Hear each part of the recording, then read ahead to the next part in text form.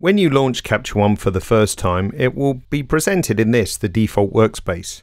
If you ever need to return to it, simply browse to Window, Workspace, and choose Default.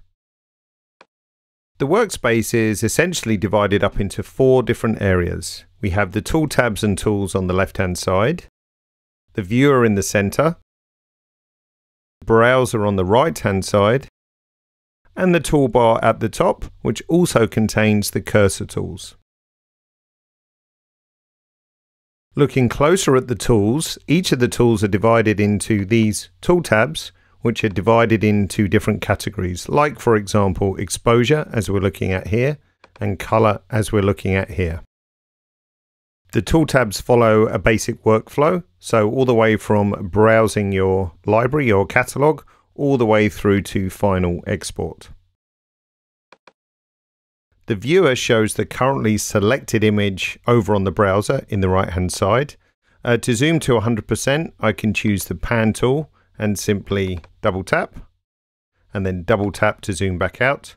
Alternatively, I can use the icons up here on the right hand side, simply click once to zoom and then to zoom back out again like so. The browser shows the currently available images in your current collection, for example, your selected album or folder of images. Multiple images can be shown in the viewer simply by shift clicking, for example, which will then lay up all the four images together like so. In the toolbar, we have various buttons that either perform a shortcut or toggle views on and off, like exposure warnings, which we can activate like so. In the center, we have the cursor tools which change the behavior of the cursor, anything from a simple select tool to something like the crop tool. When the crop tool is selected and we crop our image, like so, the crop tool will stay active until we select another tool, for example, the select tool. Most of the tools in Capture One work in a similar way. Obviously, sliders can be click dragged to adjust, to see the effect of the slider temporarily, just click and hold the name itself. To reset any slider to zero, simply double tap anywhere on the line.